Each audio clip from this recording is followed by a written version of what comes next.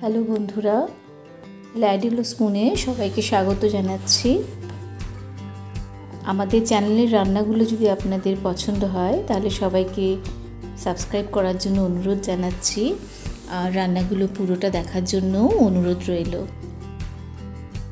আজকে বানাচ্ছি ঢ্যাঁড়স বা ভিন্ডি, যেটাই বলুন না কেন, তার একটা খুব সিম্পল রেসিপি যাদের কোনো কারণে ঢ্যাঁড়স সেদ্ধ খেতে হয় প্রায় সময়ই, তারা কিন্তু এই রেসিপিটা ট্রাই করে দেখতে পারেন বা বাচ্চাদের জন্য খুব একটা হেলদি বা উপকারী একটা রেসিপি আমি বেশ কিছুটা ঢ্যাঁড়স মানে চারশো টারশো মতন ঢ্যাঁড়স আমি খুব ভালো করে জলে ভিজিয়ে ধুয়ে নিয়েছি।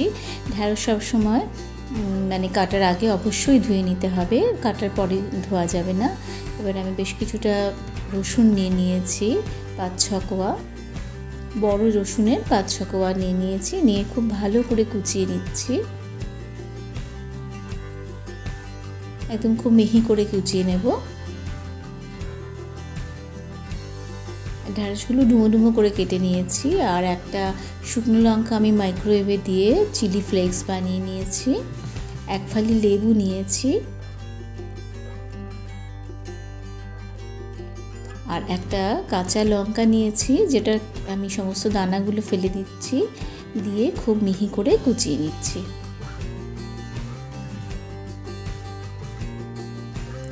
ঢ্যাঁড়স কিন্তু যাদের সুগার আছে বা এই জাতীয় কোনো অসুখে ভুগছেন, তারা কিন্তু তাদের কিন্তু প্রায় দিনই খেতে হয়।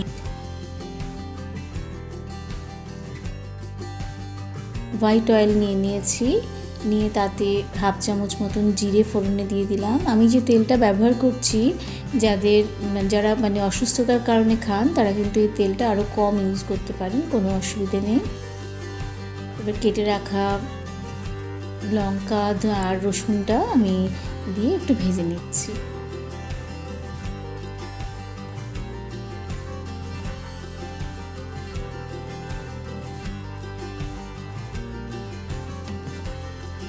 একটু লালচে লালচে রসুনটা হয়ে আসবে যখন, তখন কেটে রাখা ভেন্ডিটা আমি ওর মধ্যে দিয়ে দেব।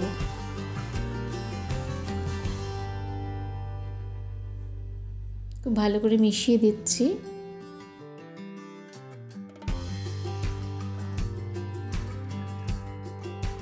আন্দাজ মতো নুন দিয়ে দিলাম।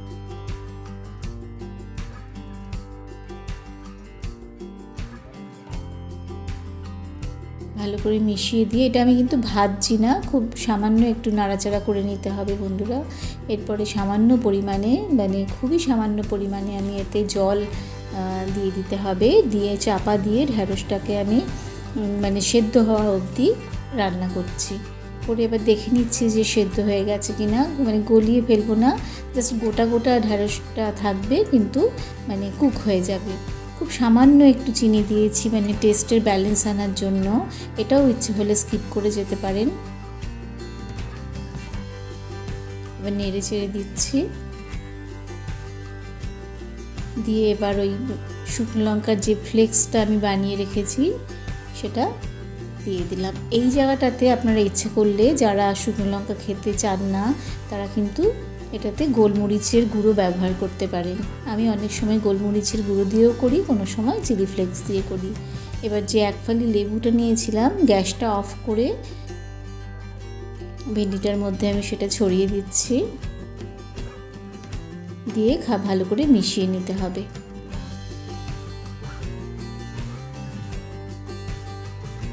রেডি হয়ে গেছে আমার চিলি গার্লিক ভেন্ডি।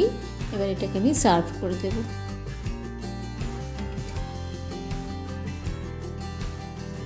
খুবই হেলদি একটা রেসিপি ইচ্ছে করলেই যে কোনো সময়ে পাঁচ মিনিট সময় লাগে এটা বানাতে। খুব সামান্য সময়ে তৈরি হয়ে যাচ্ছে চিলি গার্লিক ভিন্ডি।